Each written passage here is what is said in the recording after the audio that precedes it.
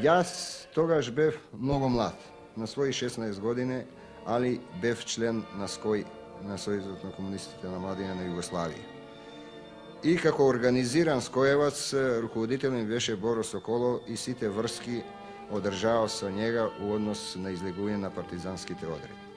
Уште пред пет дена, шест, не може точно да се сетам сега, другарот Боро Соколо ми кажа да од Куманово се изфрлюват први партизански одреди од Козјак и за изборното место Студена вода, а Карадачки одред од Менко Колиба, зборното место у истата Колиба.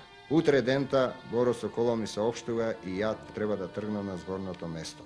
При тргнување мајка ми ме погледа и ми даде три китки црвени, ѓурѓени алови и ми рече, ве испраќам со црвени китки, сакам да ми се вратите со црвени знамења.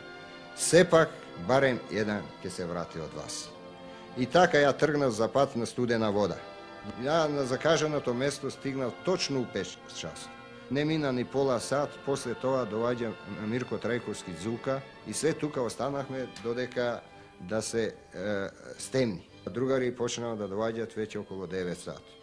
Тогаш кога другари пристигнаа, оружје се подели на другари па прво што беа служиле војска, бидејќи за целиот одред немаше, во одредот бехме 25 мина.